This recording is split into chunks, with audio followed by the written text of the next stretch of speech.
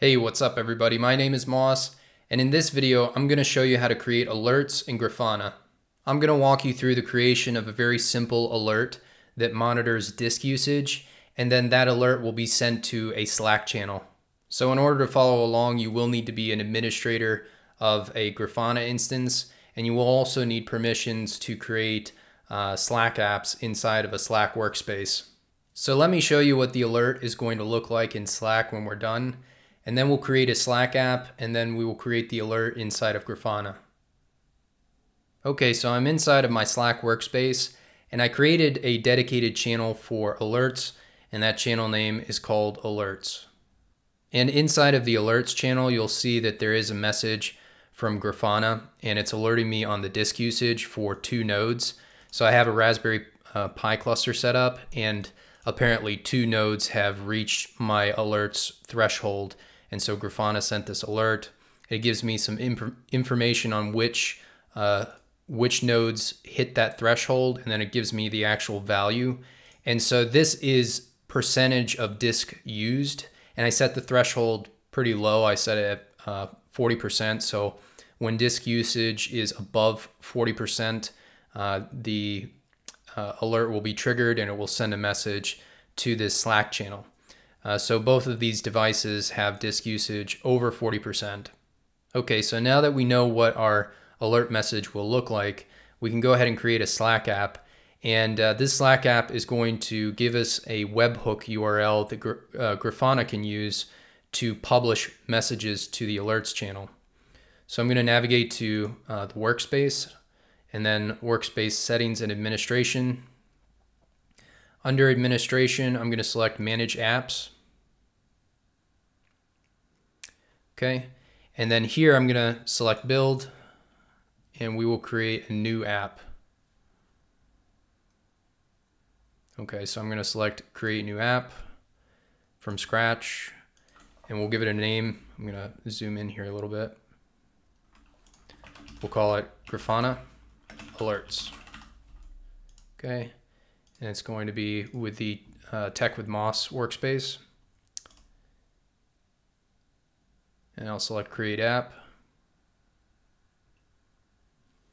Okay, so uh, once we've created the app, we have to provide some basic information. The only thing that we have to concern ourselves uh, with here is incoming webhooks. So we want to enable incoming webhooks. So I'm going to go ahead and select that.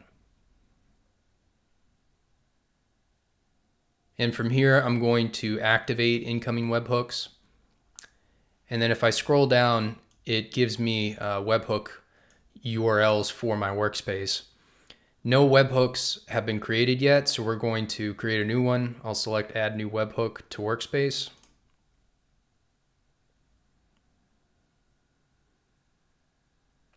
And then we're, uh, we are going to select the channel that this application, uh, that this webhook is going to have permissions to uh, to publish messages to.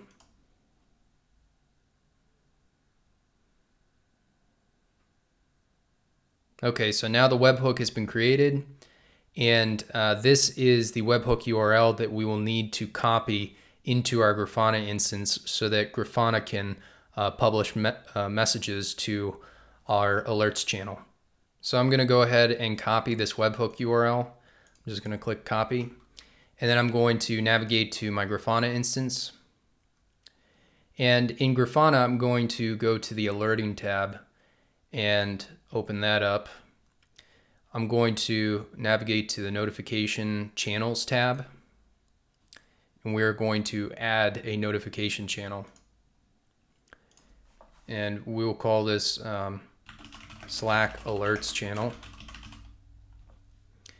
The type here is not going to be email. We're going to select Slack.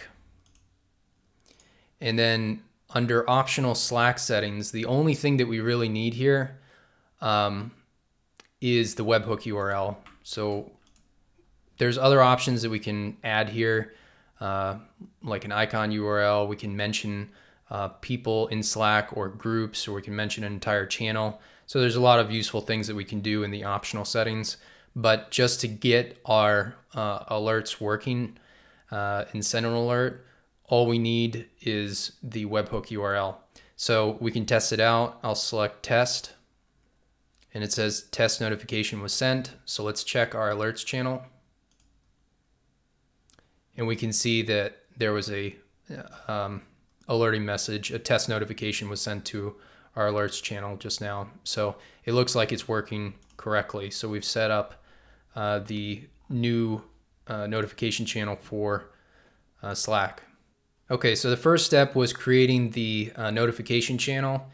And now that we've done that, we can create the, uh, the actual alert. And the alert is based off of uh, dashboard data. So if I navigate home and then uh, I'll open up this dashboard called Raspberry Pi's Node Exporter Metrics.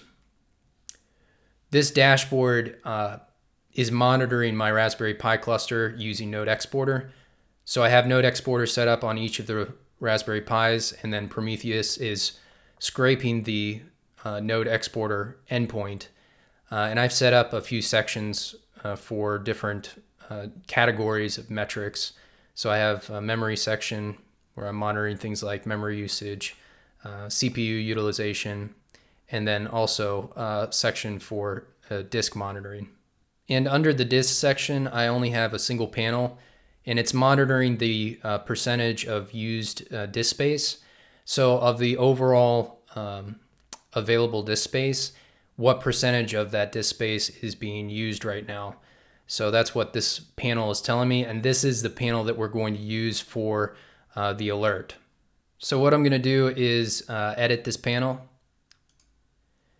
And uh, inside of the panel, we can see the query for uh, disk usage. And then to create an alert, we have the alert tab. But when I go to the alert tab, you'll notice I get this uh, basically an error message saying uh, template vari variables are not supported in alert queries. And what that means is I have created uh, template variables for this dashboard, uh, host and instance. So the dashboard updates based off of what variables I've selected uh, from this dropdown. So because I'm using those, I can't actually create an alert inside of this dashboard. So what I'm gonna have to do, there's one way to get around this. So in the query, uh, in the query tab, I can create a second query and it can essentially duplicate this query but not use the template uh, variables. And that second query I can actually disable, but I can still utilize, uh, I can still create an alert based off of that disabled query. That's one workaround, but what, uh, what I'm gonna do is create a new dashboard dedicated for alerts. So uh, we won't use this dashboard at all, but we will uh, use this query. So I'm going to go ahead and copy this query to my clipboard and I'll exit out and then we're going to create a new dashboard. And from here I'm going to select uh, add an empty panel and in the uh, query field I'm going to paste in that query and it doesn't show me any data because uh, in this dashboard I haven't created the instance variable. So what we're going to do is we're going to remove uh, remove that variable reference in both of uh, in both of the metrics in this query. Okay, so I'm going to remove that. Okay, so now um, we get the disk usage for all of the Raspberry Pis, and there's four Raspberry Pis, so we get disk usage for each one. And the legend is a little messy, so let's clean that up. Uh, I'll first um, reference instance, and then I'll reference uh, the device. So that should make the legend look a little bit cleaner. Okay. And on top of that, we want to modify the units. So right now it's just showing uh, integers on the y-axis. So from standard options, the standard drop options drop down under units, I'm going to select percent 0 to 100. Okay, and now we get the percentage of uh, used uh, disk. Okay, and I'm also going to update the panel title. We'll call it uh, RPI disk usage. Okay. And I'd also like to just quickly walk through this query just so you kind of understand uh, what it's doing. So the first metric here is getting the Raspberry Pi's available bytes on the file system. We're filtering the, uh, the data that's returned. Uh, we're filtering the device and we're saying device should not be equal to uh, MMC block 0P6. And then also the device should not be equal to the temp file system. Okay, so this is just returning the root device. And then we're dividing the value of uh, available bytes. So we're dividing that value here uh, by the overall size of the file system. And we're passing in the same filter for the device uh, on that metric as well. Okay, so now that we've gone over the query, let's uh, navigate to the alert tab and create the alert. So I'm going to select create alert and uh, the name I'll just capitalize alert here. And then immediately after the name, we have the evaluation period for the alert. I'm going to modify this. I'm going to say the alert should evaluate um, every 10 seconds for one minute.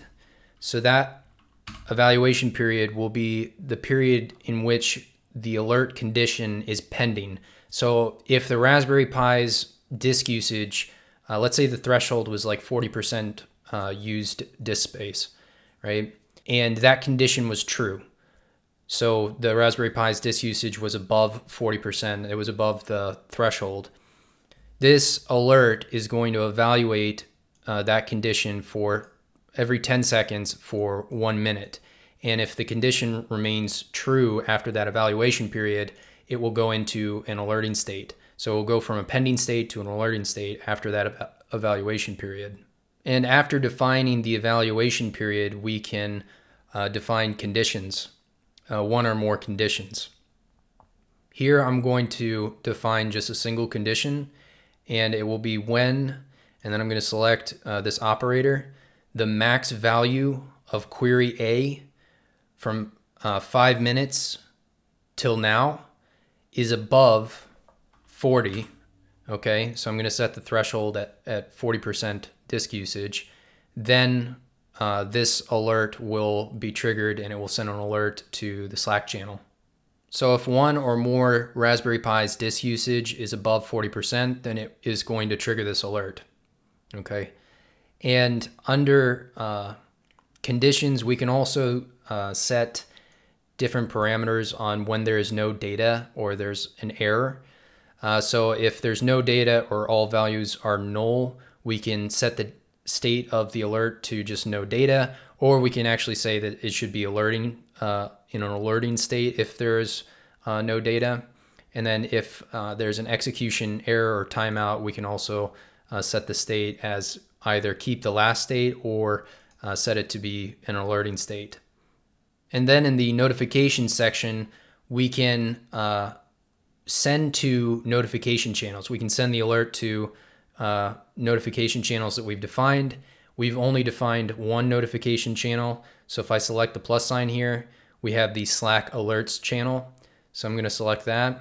And then we can add a message to the alert. Um, what you'll notice if I go back to Slack and I show you the, the alert, uh, up here we have the instance uh, names, the IP address, and the, the port of the Raspberry Pis. Uh, this is the message field. Okay, so if I go back to the, the dashboard, uh, I can use that same message just by doing dollar sign and then the variable name, which was instance. And this is the same message that I used for this alert. So this is the result of that message. It just printed out the, the uh, instance variable value. Okay, so you can keep that if you want, or if you don't, because it's kind of redundant, you can see the instance information anyway. Um, I'm going to delete it. I think it'll look a little bit cleaner without it. Um, but I just wanted to show you that you can reference variables in the message field. And then we can also add tags as well. So I think that's all we need to do for this alert. Uh, what I'm going to do before testing uh, this alert rule is I'm going to save the dashboard. Uh, you have to save the dashboard and I'm going to call it um, RPI alerts. And if I go back into the panel here and I go to alerts, I can test this rule. So if I select test, you can see that the state is currently pending because it's in the evaluation period. So after a minute, uh, the condition should still be true and the alert should be sent. So what I'm going to do is I'm going to navigate over to the alerting section in Grafana and I can see the uh, disk usage alert. It's in a pending state and, uh, and then we'll uh, wait for it to uh, reach an alerting state. Okay, so now it's in an alerting state. And if I navigate back to uh, the Slack channel, the alert Slack channel, we can see the, um, the alert show up in our alerts Slack channel, the same as we did uh, up here as well, but without the instance uh, variable reference in the message field. Okay, and we get that information anyway. This is pulling the information from the legend, uh, which I think is kind of nice. Uh, I don't know exactly how to format the value because it would be nice if this could be formatted so that it shows that it's a percentage and without um, you know so many decimal places. Uh, but if you do know how to do that uh, and format this value, uh, please comment below in the video. Uh, I would definitely like to know how to do that. So that's pretty much all there is to it. And uh, I hope you enjoyed this video and that you found it informational. Uh, if you did, please consider throwing a like on the video and subscribing to the channel for more videos like this. There is a new system for alerting in Grafana 8. And real quickly, I'll show you the documentation page for uh, Grafana 8 alerts. It's currently uh, in beta and it's an opt-in feature. So you can enable uh, Grafana 8 alerts if you have uh, Grafana 8. Uh, you can, when you're installing uh, Grafana, in the grafana.ini configuration file for uh, your Grafana instance, you can enable beta features. And this beta feature is called ng alerts. so you can enable that when you're installing a new instance of Grafana if you want to play around with this feature. One downside uh, with the Grafana 8 alerts is that there isn't a provisioning feature for it. And with legacy alerts, you can provision dashboards automatically using Ansible. So you can export the dashboard as JSON, and then uh, using Ansible, you can provision an entire Grafana instance along with dashboards and alerts defined within those dashboards. So you don't have to upload individual dashboards once you've actually uh, provisioned the instance using Ansible. And that functionality is not yet available for Grafana 8 alerts, uh, unfortunately. So you can't uh, you can't use provisioning yet with Grafana 8 alerts. But if you'd like me to do a video on Grafana 8 alerts, uh, let me know in the comments. And uh, I think it's a pretty cool system. It's a, a cool new way of uh, doing alerting in Grafana. So let me know in the comments if you'd like to see a, a video on Grafana 8 alerts. But anyway, thanks for watching, and I will see you in the next video.